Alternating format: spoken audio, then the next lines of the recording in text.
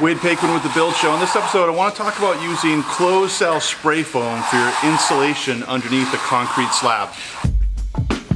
All right guys, so this tends to get a lot of attention and I get a lot of DMs when I do an Instagram story or an Instagram post on this, so I thought I'd do an episode on this for all that are interested in this application. Um, we've been doing this for about eight years. Uh, not every project, but most get this application. That's two inches of closed cell spray foam directly on top of a crushed stone base and then we place our concrete slab over the top of it. Why I like it is because it's quick and easy. We did 2,200 square feet here in just a couple hours. If we did this in a, say, a two inch thick uh, rigid foam board that was properly cut, properly taped, and you can see behind me, we've got a lot of concrete columns, there'd be a lot of cutting, a lot of taping to do a proper job. That labor versus the material of the closed cell spray foam on this particular project was a wash. Often on other jobs, the closed cell spray foam is slightly more expensive, but you do save a lot of time and aggravation. And the other attributes that I like about the spray foam is that it's monolithic, meaning there's no seams, no joints, it's continuous. It's a great moisture and vapor barrier. And a lot of people don't know this, it's a great radon blocker. So if you live in a neighborhood or you're building a house in a neighborhood that is known for radon problems, this could be a great application for you. A couple tips. I've learned over the years to apply that spray foam directly to a crushed stone base versus a gravel base. The reason for that is because the voids in the crushed stone allow that liquid when it comes out of the gun to penetrate into those voids.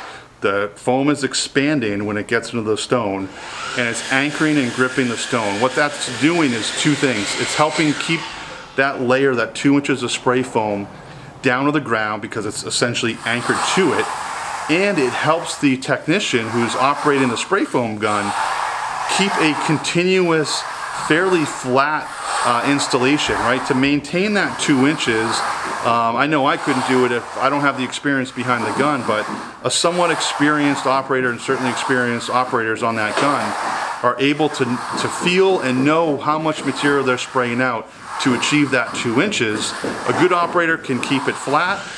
A fairly decent operator with the assistance of that crushed stone helps keep it flat. So um, crushed stone is what I would recommend if you're thinking about doing this. Um, another thing too is when you're placing your concrete on top of this uh, foam after is to make your um, control joints, cut your control joints in the concrete within 24 hours.